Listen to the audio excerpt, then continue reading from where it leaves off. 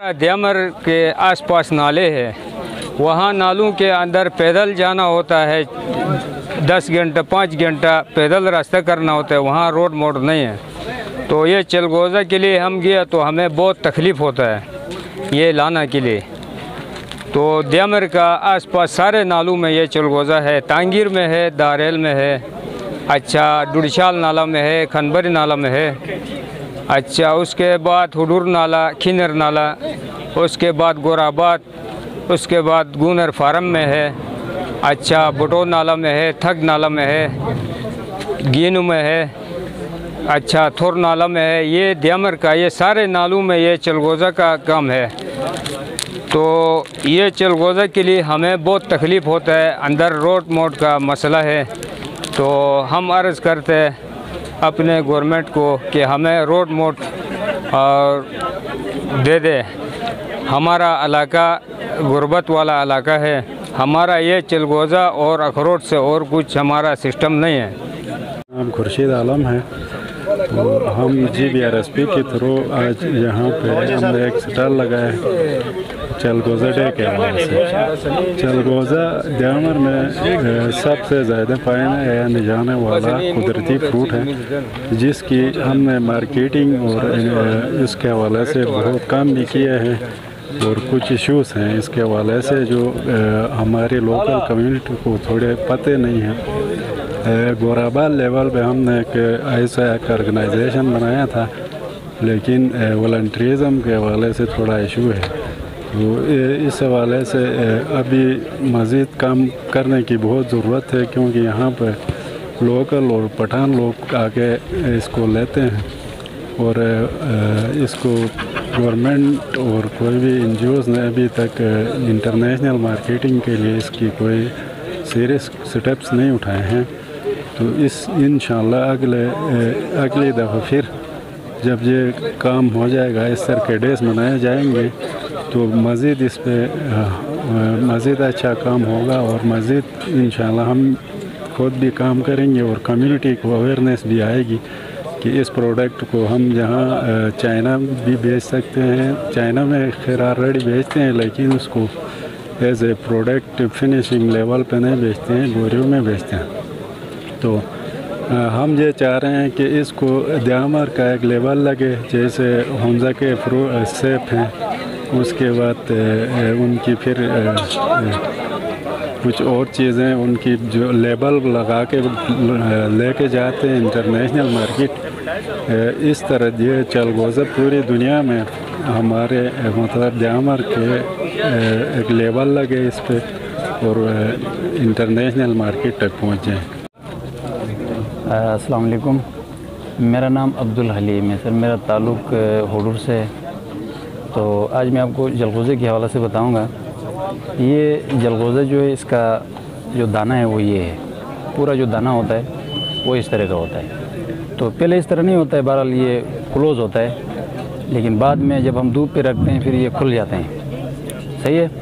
आ, इसके बाद हम इसको उतारते हैं। इस तरह मुख्तलिफ़ कैटेगरीज़ में जो है इसको तकसीम करते हैं। ये छिलका है बहरहाल। ये इसको हम जलाने के लिए इस्तेमाल करते हैं। ये जो जलगोज़ा हम अंदर से इसको खाली कर देते हैं। तो ये जो होता है ये हम जलाने के लिए इस्तेमाल करते हैं। तो उसके अलावा ये हम तीन कैटेगरीज़ में तकसीम करते हैं। तकसीम करने के बाद एक ए और बी और सी इसका मतलब ये है कि ये साइज़ में थोड़ा सा छोटे होते हैं। सी जो होता है बी जो होता है वो दरमिया साइज़ होता है। ए जो होता है वो फुल साइज़ होता है।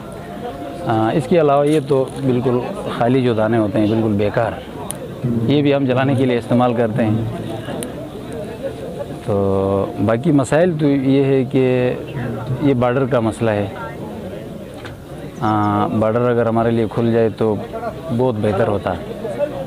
आसानियाँ होती है कारोबार के लिए। नीचे से अगर लेके जाना हो तो काफ़ी मुश्किल भी है, महँगा भी पड़ता है। इसके अलावा टैक्स का भी मसला है। हज़ारा साइड में टैक्स भी लेते हैं। ज़बरदस्ती टैक्स है वो। तो ये बार्डर अगर खुल जाए तो बहुत बेहतर होगा। आसानी होगी कारोबार के लिए। छिलास में इधर जो द्यामर के अंदर इसकी एक मंडी भी होनी चाहिए ताकि हर एक बंदे के लिए आसानी हो। आ, हर एक बंदे का चाइना तक तो पहुँच नहीं हो सकता है। तो यहाँ पर अगर कोई मंडी वाला सिस्टम हो तो हर एक बंदे के पहुँच में हो आसानी हो जाएगी उसके लिए।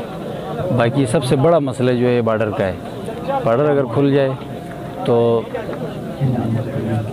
चीज़ ज़बरदस्त चलता है इधर बारह।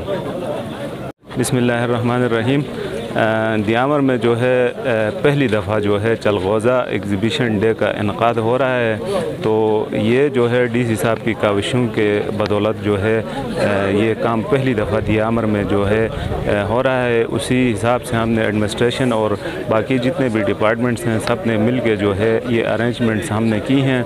और इसका मकसद जो है, इस एग्ज़िबिशन का जो लोकल फ्रूट्स हैं, लोकल फार्मर्स हैं और इनके जो प्रोडक्ट्स हैं जो फ्रूट हैं वो मार्केट तक आ जाएँ लोगों को पता चल जाए इनकी अहमियत का बहुत अच्छे हमारे लोकल फ्रूट्स हैं लेकिन आ, कुछ फार्मर्स के इश्यूज़ हैं ग्रेडिंग के इश्यूज़ हैं पैकिंग के इश्यूज़ हैं फार्म टू मार्केट के इश्यूज़ हैं वो इश्यूज़ को जो है उजागर करने और इनकी मार्केटिंग जो है इसको बढ़ाने और आ, कुछ अवेयरनेस देने के लिए जो है इस एग्ज़िबिशन डे का इनका हुआ है।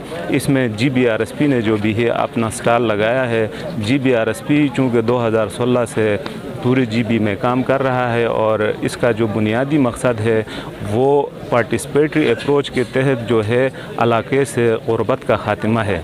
इस हवाले से जो है गुरबत का ख़ात्मा है और यूथ को जो है हुनरमंद बनाना है। जो इवेंट यहाँ पे हो रहा है, ये चलगोजे की अहमियत और अफादियत के हवाले से हम डिस्ट्रिक्ट एडमिनिस्ट्रेशन के साथ मिलकर दियामर में पहली मरतबा एक ऐसा इवेंट हम करने जा रहे हैं। क्योंकि ये जो चलगोज़े की प्रोडक्शन है, यहाँ पे बहुत ज़्यादा है और इसका, इसकी जो अफादियत है, उसके हवाले से लोगों में अवेयरनेस क्रिएट करने के लिए कि इसके फ्यूचर में इसके क्या फ़ायदे हो सकते हैं और जो अमनास है उसमें इसकी अहमियत को उजागर करने के लिए डिपार्टमेंट डिस्ट्रिक्ट एडमिनिस्ट्रेशन और मुख्तलिफ़ जो यहाँ के ट्रेडर्स हजरात हैं और इलेक्ट्रॉनिक और प्रिंट मीडिया के हवाले से जो भी चीज़ें, उन सबने मिलकर यह इवेंट ऑर्गेनाइज़ किया है ताकि इससे अवामनास के अंदर इसकी अहमियत का अदा हो।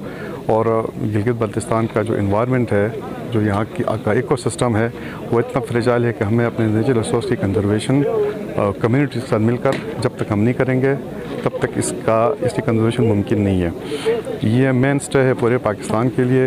और जो हमारे मेगा प्रोजेक्ट चल रहे हैं, जैसे बाचदियाम डैम है, दासू डैम है, करबला डैम है, उसका सारी कैशमेंट उसका वाटर शेड सारा, वो यहाँ यहाँ पे है। तो उनकी जो उनकी वाटरशेड का जो तमाम जो चीज़ें वो इन जंगलात के ऊपर हैं। तो गिलगित बल्तिस्तान में हम देखें तो हमारे पास तकरीबन 75 परसेंट हमारे पास नेचुरल फॉरेस्ट हैं और उनकी कंजर्वेशन बहुत ज़्यादा ज़रूरी है और वो कम्यूनिटी के साथ मिलकर करना उसके बगैर मुमकिन नहीं है।